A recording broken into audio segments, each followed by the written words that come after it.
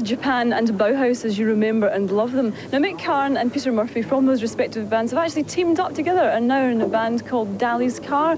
Mick, can I ask you first of all, were you real fans of each other's bands? I mean, did you see Bauhaus live then? Um, no, I must admit, um, I hadn't. I didn't really know anything about Bauhaus. So that hasn't changed your mind then about the partnership? No, no. um, I knew more about Pete Murphy than, than I did actual Bauhaus, so um, it wasn't because of the respective groups we were in that we got together, no.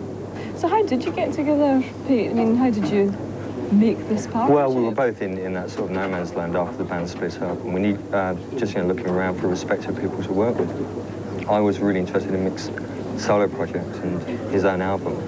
We actually got together through the the means of a Japanese journalist who, who gave each other our numbers, and you know we rang each other up, met, and decided it would be a really good idea to actually you know try and work together, and it actually happened, you know, to a success, I think. Quite unusual to team up just as a pair rather than get a whole band together. I mean, do you think this is going to be difficult for you, or is it going to make it easier to get your ideas across? Um, I think it's going to be a lot easier when it comes to the actual work, um, recording.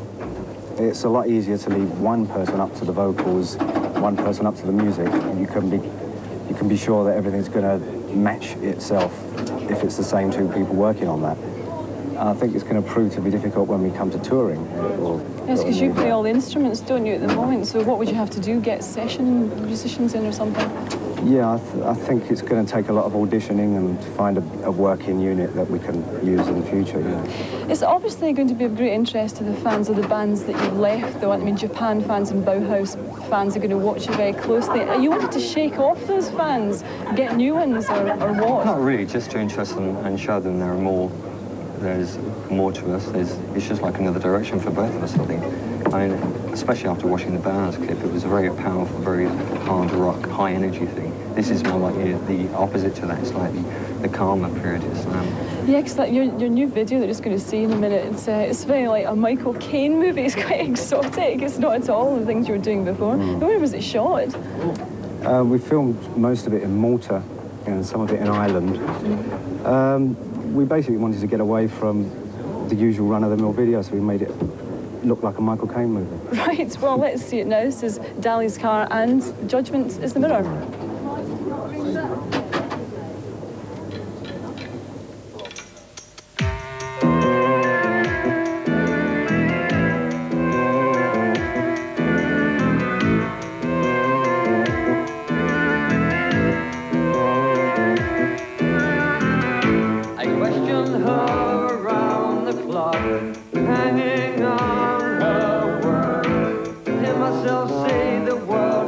The first step is